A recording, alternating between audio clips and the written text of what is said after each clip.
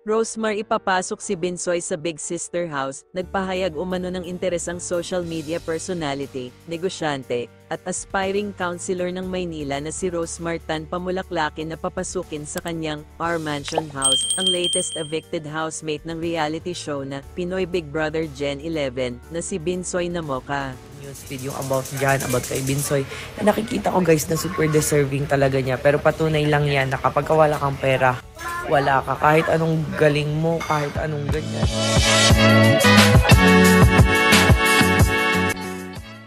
Isinapubliko ng businesswoman at social media personality na si Rose Marta na kinukumbinse niya ang evicted PBB Gen 11 housemate na si Binsoy Namoka na pumasok sa kanyang R Mansion House para maging isa sa mga endorsers na naglalaban-laban sa pili mandaang libong prize.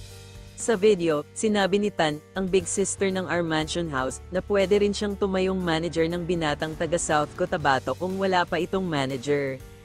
Nakikita ko guys na super deserving talaga siya, pero patunay lang yan na kapag wala kang pera, wala ka, kahit anong galing mo, doon ako nalungkot, deserve niya maging Big Four, chika pa ni Big Sister. Nagpadala na raw siya ng private message sa social media account ni Binsoy at hinihintay na lamang ang pagsagot nito. Habang isinusulat ang artikulong ito ay wala pang update si Rosemar kung pumayag na ba si Binsoy. Anong say nyo dito mga ka-trend vibes? Papayag kaya si Binsoy? Abangan na lang natin ang pagsagot niya.